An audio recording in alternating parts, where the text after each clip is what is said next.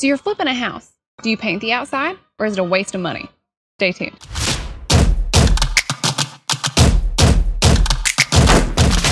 Hey guys, welcome back to What the Flip, and today we're talking about one of my favorite topics, which is the exterior of the house. Now, the exterior is often neglected because everybody wants to focus on things like the kitchen, the bathroom, trendy light fixtures, things like that. And while all that is important, in today's age, when people are scrolling through the home buying apps, the first thing they usually see is the exterior. So it's more than just curb appeal these days, it's what actually gets eyes on your listing, it gets more attention to your listing, and it helps you sell your house faster. So, with that being said, let's see what we can do with this house. Okay, guys, so your first decision you need to make is should you upgrade the exterior on your house? Is the money and the time and the effort you put into it going to be worth it? Well, in our case, absolutely. The outside's a disaster, so we're already going to upgrade the windows, we're going to upgrade the roof, and that just leaves the brick. And normally, brick is a pretty fantastic exterior material, but this brick, the wrong color, it's dated, it's wire cut, so it's got a lot of. It, it sucks. So let's fix it. So, if this were my forever home, I would go with a color that I like, like a gray or blue or something trendy. Um, since we plan on selling this home, we want to attract as many potential buyers as we can. So we need to go with something neutral or timeless. So we're to go with white. Okay, cool. So now we've got our color. Now we just have to pick a paint. Easy enough, right?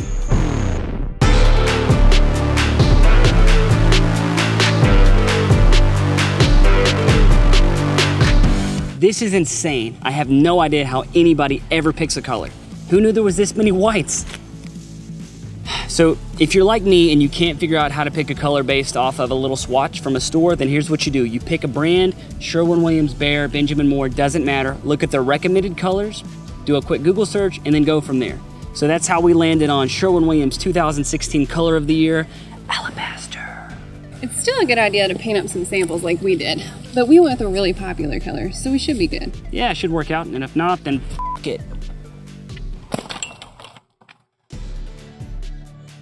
Whoa. Okay, so we're almost done. We've decided we wanted to upgrade the brick. We've decided what color we want to paint the brick. That only leaves one thing left to decide, and that reminds me of my favorite game.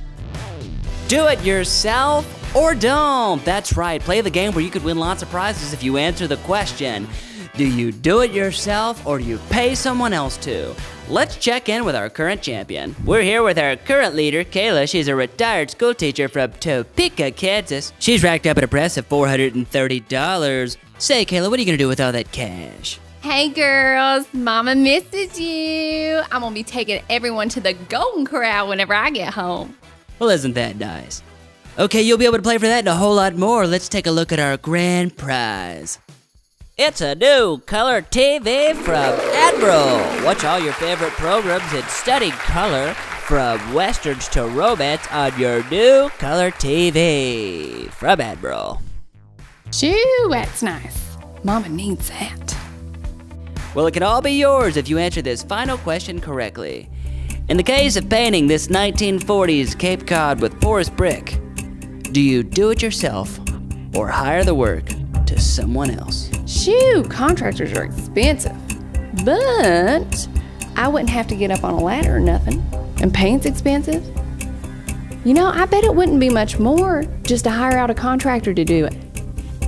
All right, I think I've got my answer. Don't. Final answer. Well, Kayla, congratulations, you won absolutely nothing. Beat it, loser. Join us next week where you'll see more people play for a chance to win fabulous prizes if you can answer the age old question Do it yourself or don't. That's right.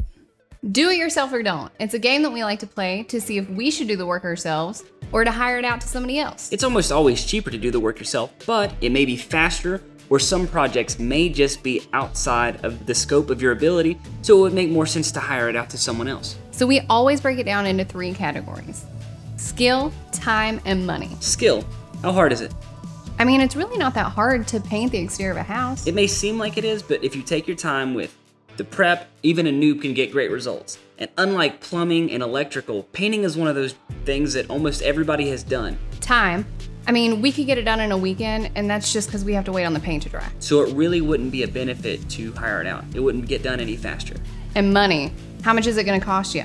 Well, we called three contractors, and the average cost that they quoted us was $2,400. That's a lot of money. And if we did it ourselves, it would only be 850 bucks. So it's a lot cheaper. And now there is an asterisk by that amount, and that's only because I didn't include tools. Because tools are an investment, you can use them for multiple projects and they'll pay for themselves over time. But if you still wanted to include things like sprayers and ladders, it would still be cheaper than hiring a professional to do the job. So in this case, if we're gonna do it ourselves or hire it out, we're absolutely gonna do it ourselves. Okay, well that's it for us. So join us next week when we actually paint the thing. Can you find out why this happens?